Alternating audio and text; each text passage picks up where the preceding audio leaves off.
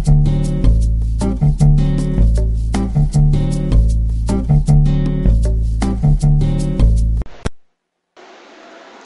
guys, I teach you on how to create a use case diagram using Astah community.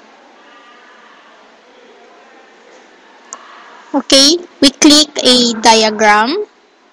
Then these are the kinds of diagram and we choose a use case diagram to create our use case.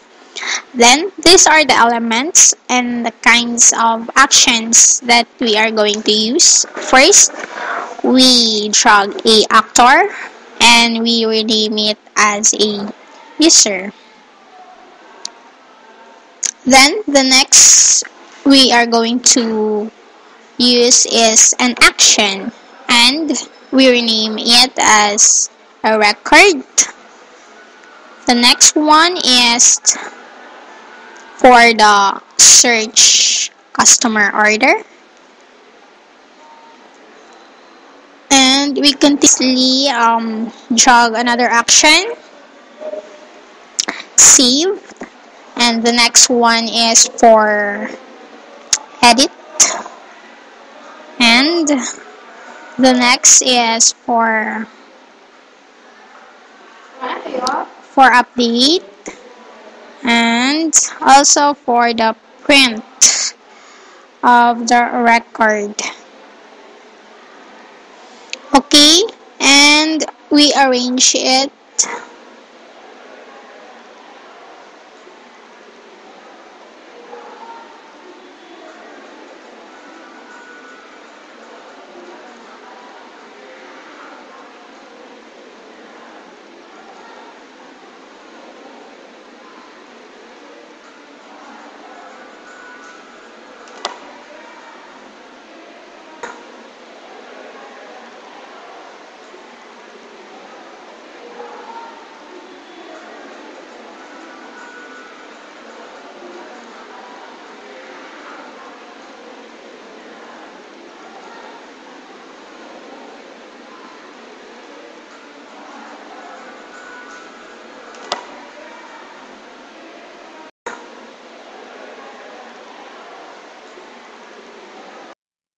After that, we connect um, our user to record and also we connect it to the research record.